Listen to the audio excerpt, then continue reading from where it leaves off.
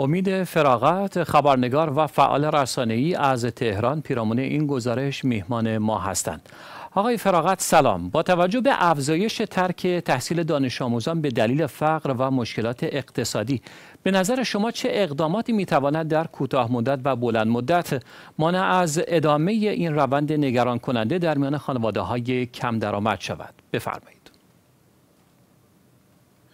درود و ادب و احترام.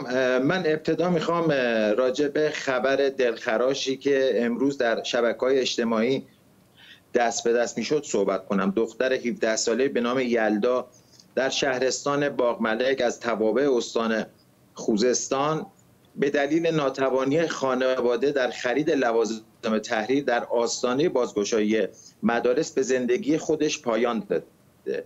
این واقعا این خبر بسیار بسیار دردناک برای ملت ایران. از اون بر اصل سی قانون اساسی داره میگه دولت موظف وسایل آموزش پرورش رایگان رو برای همه ملت تا پایان دوره متوسطه فراهم کنه.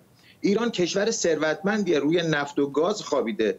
به چه دلیل باید یک میلیون و هزار نفر دانش آموز به دلیل مشکلات اقتصادی و فقری که گریبانشون گرفته از تحصیل باز بمونن؟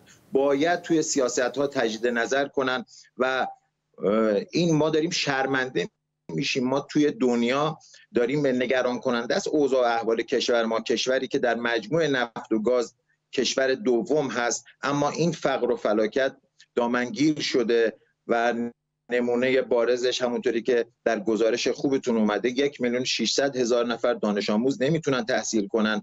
من استعدایی که از مسئولان جمهوری اسلامی دارم اینه که نمی‌خواد پول نفت و پول آب و برق و اینا رو مجانی کنن.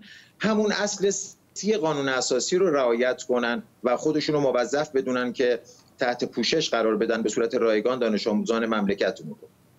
بله ممنونم. با تشکر از امید فراغت خبرنگار و فعال رسانه‌ای از تهران که پیرامون این گزارش دعوت ما را پذیرفتند.